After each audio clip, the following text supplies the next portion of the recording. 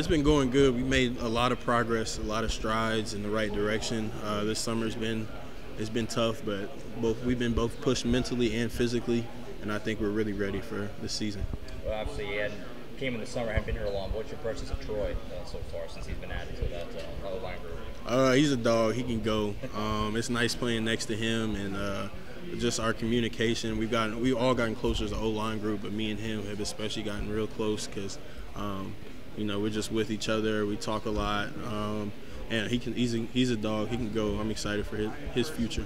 How much more comfortable do you feel? I mean, even now than maybe when you got here, getting ready to go through spring ball. You know, yeah. haven't had a season yet, obviously, but you know, I got to imagine it feels a lot different than it did, you know, back in the winter. Yeah, I mean, just a lot more reps since yeah. I got here. Um, I've gotten a lot more reps, gotten a lot more filming, uh, talked to the guys. They've helped me out a lot more. So um, I think I'm a lot better than I was in the spring, and I'm, I'm just excited to get started. How has uh, settling into uh, Norman, Oklahoma gone for you? Uh, it's gone well. The older guys have really helped uh, us get adjusted.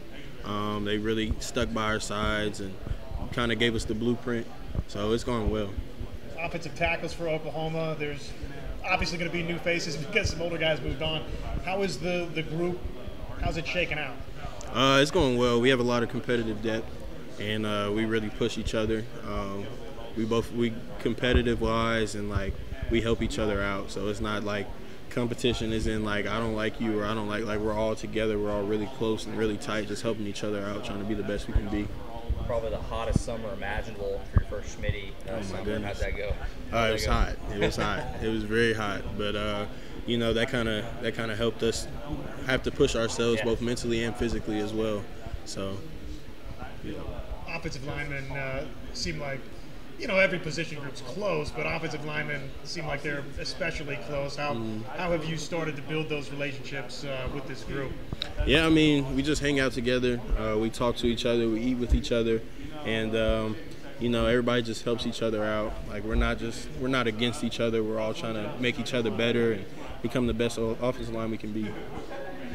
Why, uh, why Oklahoma for you? I know you've answered this question before, but mm. uh, why are you sitting here right now? I mean, obviously, uh, the success that uh, they've had putting the offensive linemen in the league, uh, the success that the offensive linemen have had when they got to the league. But I mean, I was born in Tulsa. I lived there till I was about four, so it's kind of just always been. I've always kind of been a fan.